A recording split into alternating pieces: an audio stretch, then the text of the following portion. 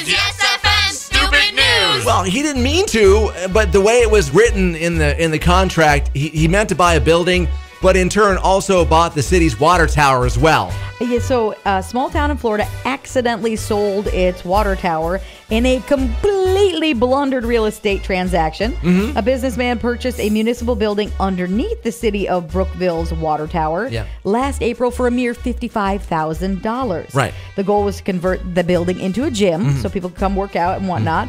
However, uh, when he went to the county to get an address for his new business location, he was told the parcel he bought also included the entire water tower site. county records show he transferred the tower back to Brooksville last month.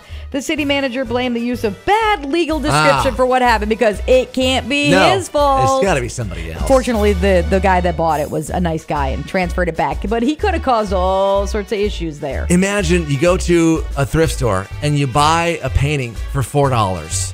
Not just any painting, a But David then Bowie painting. But it turns out it's actually worth 12 grand. yeah. 12 grand. You spent $4.09 with Yeah. Mm-hmm. HST because this happened in Canada.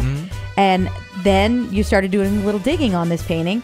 And that's going to be auctioned off. It is a late David Bowie painting. He actually painted it himself Uh-huh. back in 1977. Uh, and now they are going to auction it. And they're thinking it's going to go for around 12 grand. Yeah. Could go for more Yeah. because he's passed on now. because so- how many thrift stores are art are art uh, connoisseurs anyway? Do they really know? Would you what- know? no. I wouldn't know. I didn't know- am. I am David not Bowie artsy like that. I wouldn't know But David yeah. did it himself. I yeah. know. So it was a great four dollar investment.